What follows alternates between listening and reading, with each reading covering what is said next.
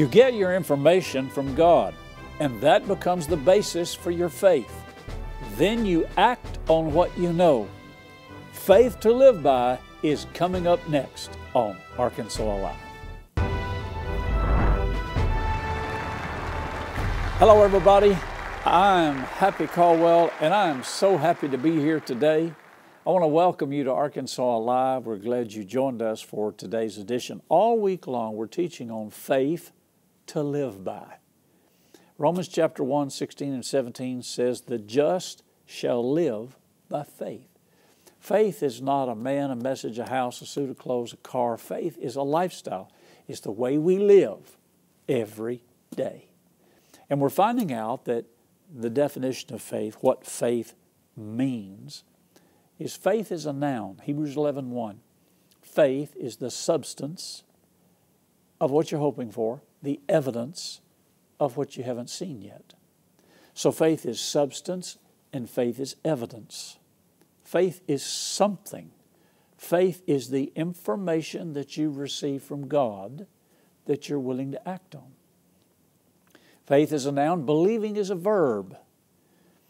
Faith is the information that you've received from God.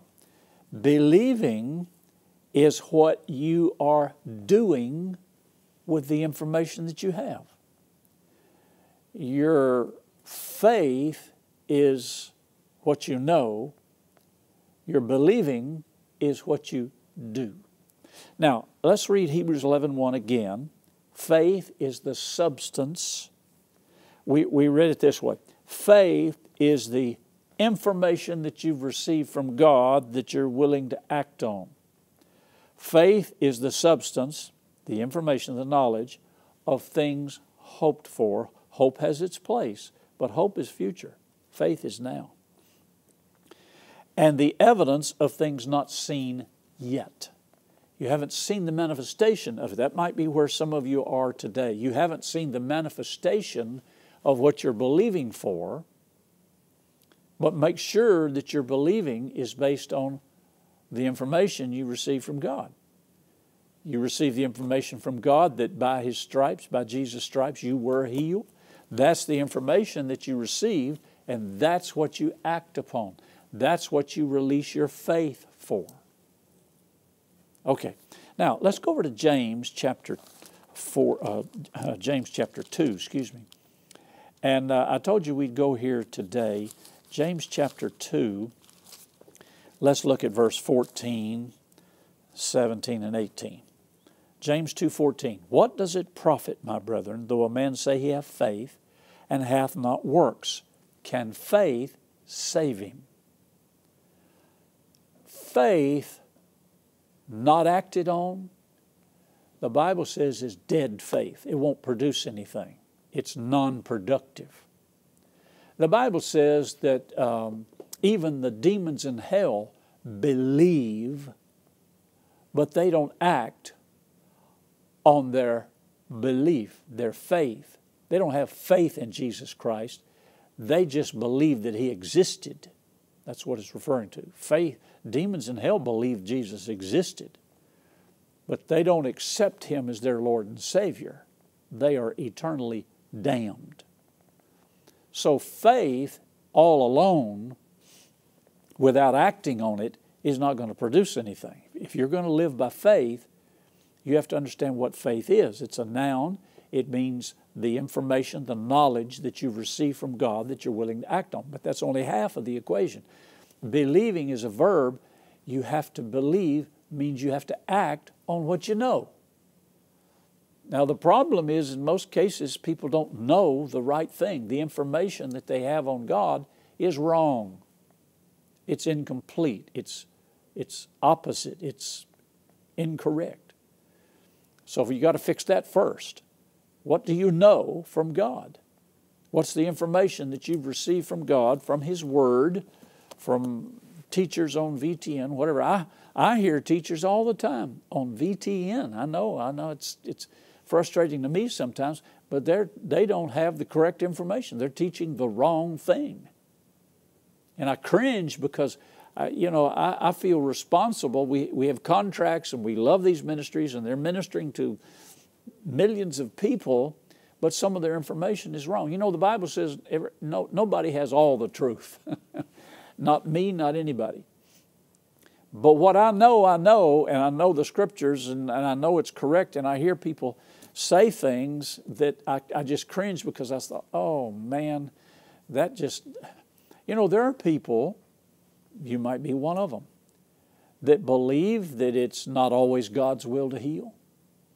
And there are some ministries that will substantiate that. They believe that, they teach that. Um, there are some ministries that believe that experience is the best teacher. That's, that's not in the Bible, but that's substantiated by experiences. People tend to believe what they've experienced more than what the Bible says. And so they teach other people experience is the best teacher. And there are ministers, ministries that teach uh, God allows the devil to beat up on you. That's not in the Bible either, but they believe that because of their experience. And a lot of times we're teaching too much experience as doctrine instead of the doctrine of Christ. And, and you won't find any of those things in the Bible, but people really believe that and they teach it, and I just cringe when I hear it. I'm not fault finding or criticizing or judging. I just, I know what I know, and, and I know that people can't be healed, delivered, prospered, blessed, fixed when they don't have the right knowledge.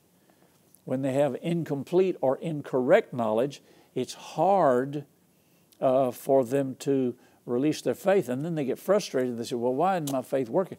Because what you have based your faith on, the information that you've received, is not from God. It's from a doctrine, it's from an experience, it's from somebody that doesn't know. And, and this is not a criti- criticism, it's just an observation, a fact. And therefore, your faith won't work because it's not based on the Word of God, it's not correct. God, in His mercy, has given us the benefit of the doubt. I mean, you know, the, the, the uh, thief on the cross, he never went to church, he never got water baptized, but he acknowledged that Jesus was the Christ and said, Remember me when you come into your kingdom? I mean, that's all he said.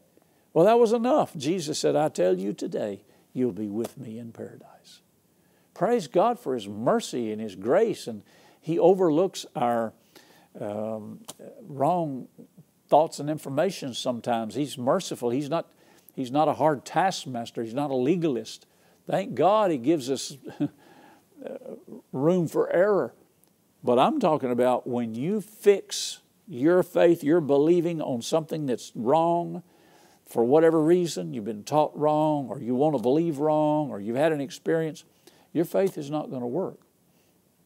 Faith alone won't work without corresponding action. You can lay in the bed and believe all day long that it's God's will for you to be healed and never get up, and your faith is not going to produce anything.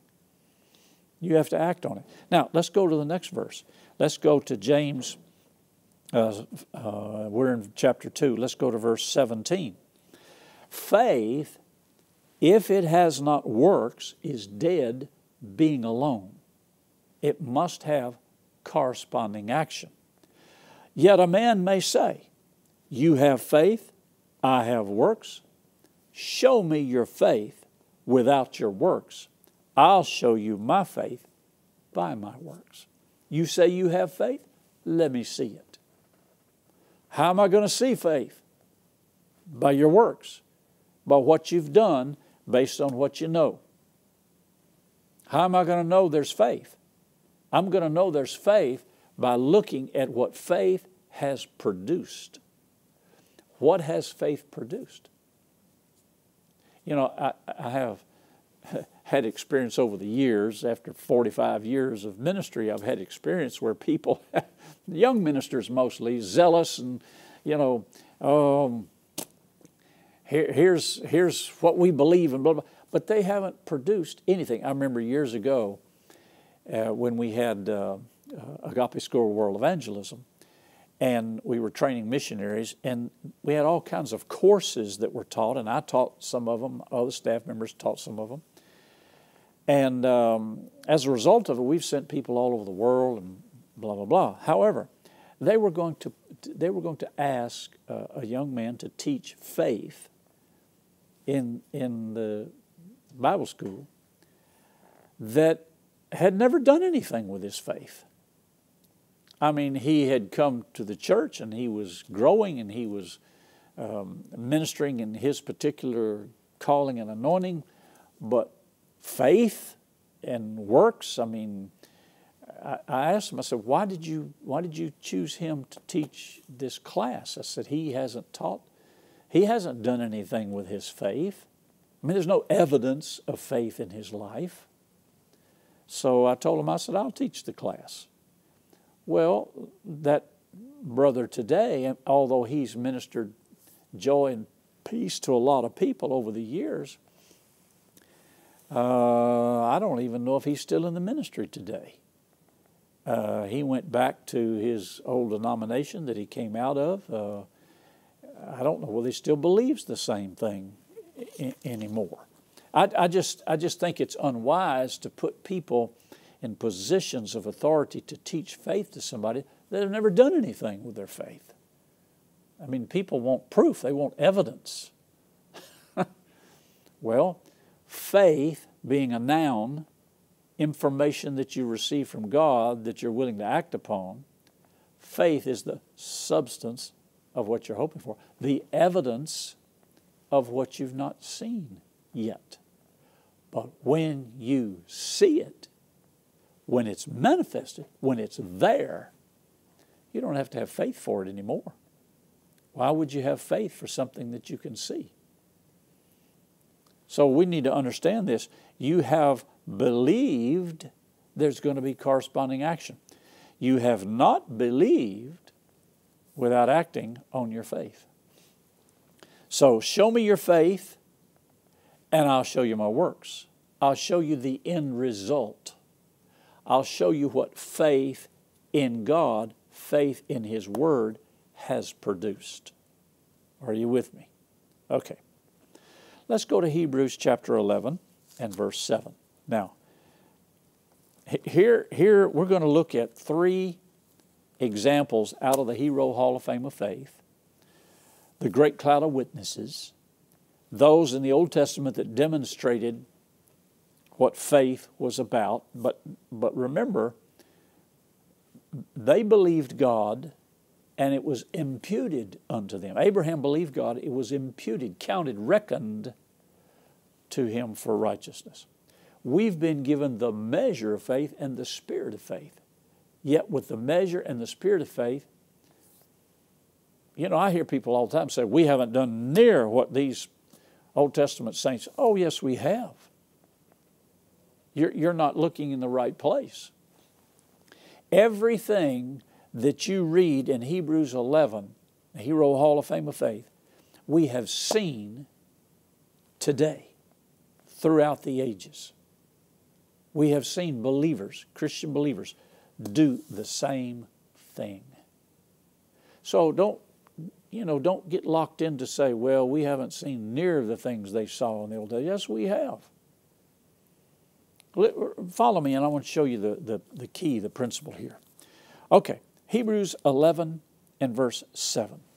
By faith, Noah, being warned of God of things not seen as yet, moved with fear, reverence, prepared an ark to the saving of his house, by which he condemned the world, became heir of the righteousness which is by faith. Everything in the Old Testament points to the New. Everything in the Old Testament points to Jesus. You need both. The New Testament sets on the Old Testament. You can't throw it out. I, I, I, have, I haven't heard ministers say this, but I've had people tell me that they've heard ministers say, we don't need the Old Testament anymore. It's no good. Throw it out. It's out. Forget it. That's not true. Everything in the Old supports the New. Everything in the Old points to the New, points to the New, points to Jesus. So you, you, you have to have both. You, and you need to know both But listen to, to what Noah did. Now let's break this down in light of what we're teaching faith to live by. Faith is a noun, it's the information that you receive from God for you to act upon. Was Noah warned in advance Was he told in advance what God wanted him to do? Yes. Uh, uh, let, let me get ahead of myself here so you'll know um, where we're going. Noah was warned, Abraham was called, Moses' parents saw. Now, we'll come back to this if we don't run out of time this week. Noah was warned, Abraham was called, Moses' parents saw. Warned, called, saw. All right, now let's go back to Hebrews 11 7. By faith, Noah being warned. Was Noah informed in advance of what God was going to do? Yes. Did Noah receive instruction from God? Yes. Did Noah act on the information that he received from God? Yes. By his acting on God's word, the Bible says he became heir of the righteousness which is by faith. See, there was, there was a righteousness in the Old Testament that was reckoned, imputed, counted on by keeping the law. But in the New Testament, the Bible says the righteousness which is of faith comes by believing and confessing. Romans 10. So, we as Christian believers, we are still held to the same standards. It's just that the, the mechanics, the understanding and the application of faith is based on what Jesus did on the cross. It's based on his fulfillment and, and God's assignment to him. We are uh, Abraham's seed through Christ. We have the same rights and privileges to, to walk in and experience and receive the blessings of the Abrahamic covenant because of Christ. Through Christ, we are Abraham's seed. So we are to believe with the heart, confess with the mouth, and we've been given the measure of faith and the spirit of faith. Now, let's, let's break this down again. By faith, Noah warned of God. So, was Noah warned in advance? Yes. Did Noah receive instruction from God? Yes. Did Noah act on the information that he received from God? Yes. By acting on the information that he received from God, he became heir of the righteousness which is by faith. All right, let's go to Hebrews 11 8. By faith, Abraham, when he was called, underline called. In the previous verse, verse 7, underline warned. By faith, Noah was warned. By faith, Abraham was called to go out into a place which he should after receive for an inheritance. He obeyed.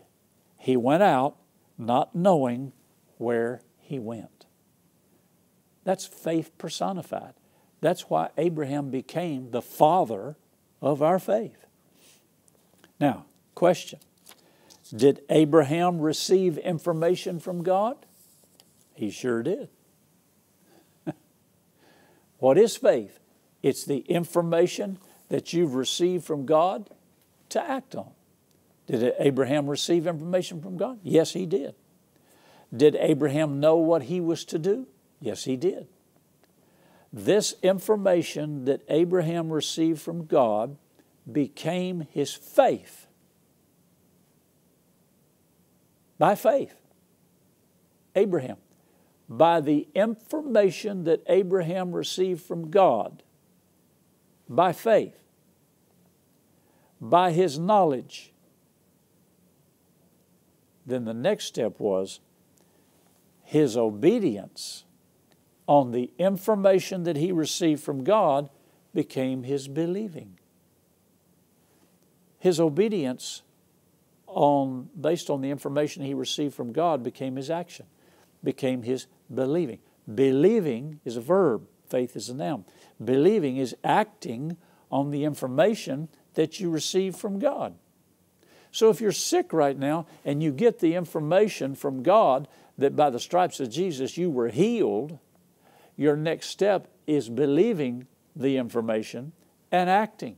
If you're laying in bed and you believe that Jesus' stripes, that He bore your sickness, carried your diseases, and by His stripes you are healed, then get up. That's how faith works. I remember years ago, I had just been saved. I don't know, I wasn't maybe a month or two old in the Lord, maybe more than that. But I, I remember this I was still in my job as a, as a liquor salesman for a wholesale liquor company. You, some of you watched for a long time, you know my testimony. I was a liquor salesman for a wholesale liquor company right here in Pulaski County. And I called on all the bars, package stores, hotels, lounges, sold them their booze. I go to Nashville, February 11, 1972. I get, I get saved. I come home. First thing I want to do is get out of the liquor business. I'm born again now. I, I don't I don't believe in what I'm doing, don't like what I'm doing. I, I got delivered from a product, and now I'm going to be delivered from a job, and I'm wanting out of this. And the Lord said, You don't know anything. You've got a family to take care of, so you stay in your job until I tell you otherwise. While you're there, you can witness to all your customers. Okay, that's what I did. I didn't know much. I just said, I know I've got, I, have got a testimony. I was lost and now I'm found. I got saved. What does that mean? I didn't really know, but I told them what happened to me. They saw the difference, difference between daylight and dark. I mean, I was a new creature in Christ, and everybody that knew me could tell it. And one morning, I mean, I was getting up to go to work. I'll never forget it. I can see it today. Where we lived, I had only been saved a few months. I was the alarm went off. I got ready to get up and get dressed, and all of a sudden, all the symptoms of the flu that I had ever heard about, and I've never been a sickly person, sickly child. I've always been basically healthy. And all of a sudden, all the symptoms of the flu came on me. I mean, headache, pain, fever, aches and pains. I thought, oh no. And the first thoughts that came through my mind, now I'm only a few months old in the Lord, the first thoughts that came in my mind was, you know, I can lay here, I'll, I'll be here two or three days uh, getting through this, and Jenny will bring me uh, orange juice and take care of me and so forth. and that was my first thoughts. And the Holy Spirit spoke up on the inside of me and said, Hold it. You're getting ready to make a decision. Boy, he was so right on target. And I was. I was getting ready to make a decision based on experience and what I thought, the unrenewed mind. I was getting ready to make a decision to call her in there and say, honey, I'm sick. I'd call them at the office and tell them I can't come to work today and uh, get me some orange juice and, and I'm just going to lay here in bed and suffer. That was, that was what my mind was programmed to do and to think. And all of a sudden, the Holy Spirit said, Hold it. You're getting ready to make a decision. And He said, Now there's your closet right in front of you. He said, If you'll go to the closet, well, first of all, He said, If you'll believe me and my word for your healing, get up. There's your closet. Get your clothes. Go in the bathroom, shave, shower, dress, go in the kitchen, eat breakfast, and go to work. He said, You will be well before noon or before the day is over. And I'm laying there thinking, Wow, do I dare do this? may some of you be thinking that right now. Do I dare do this?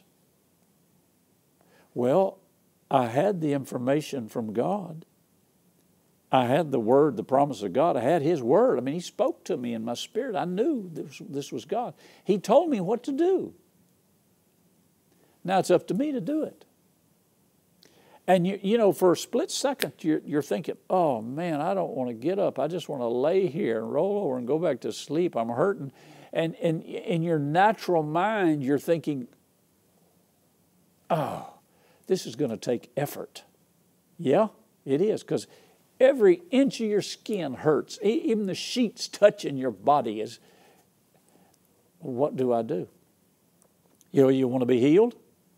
Or you want to go lay in bed for three days and drink orange juice and take aspirin? What do you want to do? I wanted to be healed. I wanted to obey God. So, with everything in me in the natural, I just gritted my teeth and I threw back the covers. I said, I'm going to act on that, God. I am going to take you up on your word. Threw back the covers, got up, went to the closet, got my clothes, went to the bathroom, shaved, showered, went and ate breakfast, and before noon, all those symptoms were gone. What did I do? Faith is the information that you've received from God that you're willing to act on. Faith is the substance. What, what did Noah do? He took the information that he received from God and acted on it.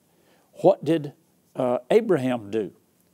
He took the information that he received from God, that became his faith. His obedience on the information he received became his believing. His believing was acting on the information that he had received from God. Now, there's, there's another example, there's a whole bunch of examples, but we're looking at three Noah, Abraham, Moses' parents. Let's look at Hebrews 11 23. Hebrews 11 23. And I know we're running out of time, so we'll pick this up tomorrow. By faith, Moses, when he was born, was hid three months of his parents because they saw he was a proper child and they were not afraid of the king's commandments. Noah was warned, uh, uh, according to the Bible, a- Abraham. Um, Abraham was called, Noah was warned, Abraham was called, and Moses' parents saw. Here's three examples of the way faith came. What did Moses' parents see?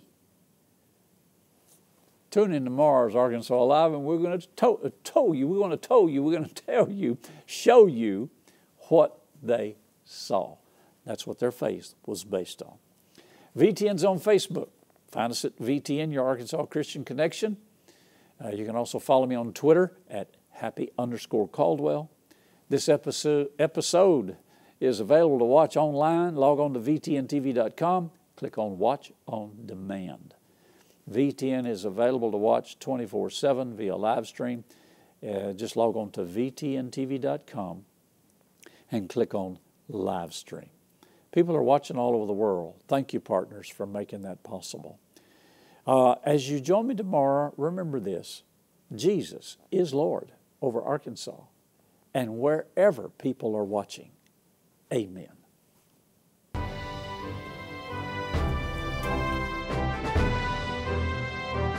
Send your questions, comments, and testimonies to Happy Caldwell at P.O. Box 26207, Little Rock, Arkansas 72221. Or email happycaldwell at vtntv.com.